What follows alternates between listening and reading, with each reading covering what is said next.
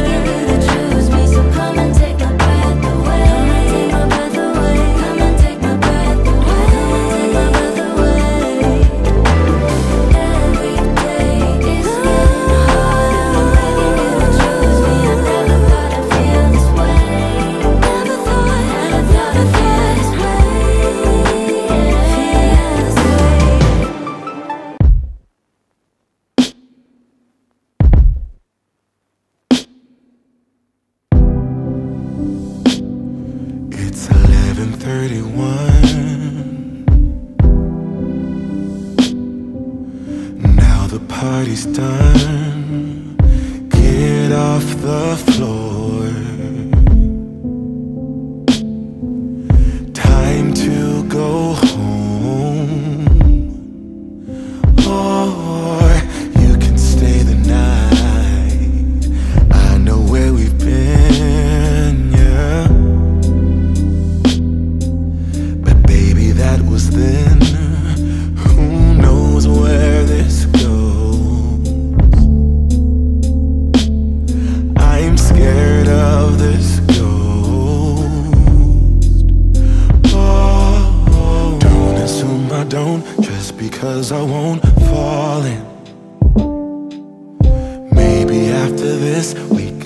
It quits destiny.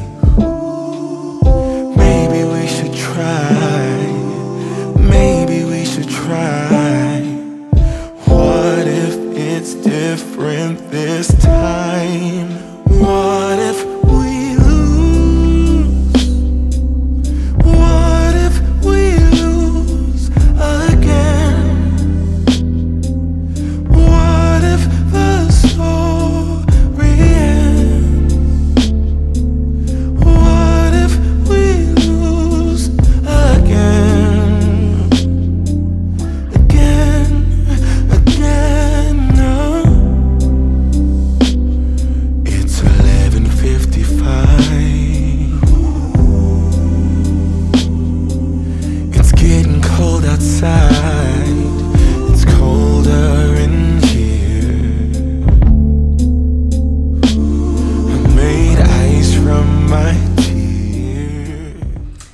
y'all. So let's talk about Miss Kaira.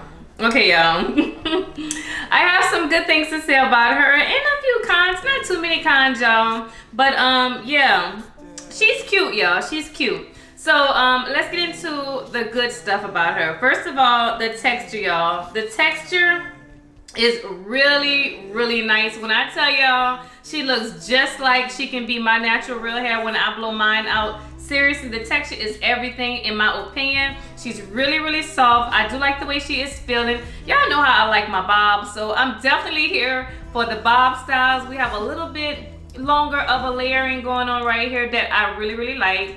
Of course, we can part this wig wherever we want to. So, of course, I went with my left side part. I am loving that. The density of this one is really, really nice, y'all. I mean, to me, it's perfect. It looks very realistic. This really looks like it can be my natural hair. That's just my opinion and I'm sticking with it. So she's laying real, real flat, y'all. To me, I feel like she can come, she's looking like she's coming out my scalp too. So really, really flat. As for the pre-plication, they did an okay job on the pre-plication. I think they could have went in a little bit more, but definitely good for us who do not want to go in and pluck. We don't have to pluck if we don't want to. Only if you want to be a little bit extra. And I'm not like that because I'm a lazy wig wearer. So I threw her on my head and I was good to go. I didn't get any shedding from this wig at all, y'all. So that's another good thing.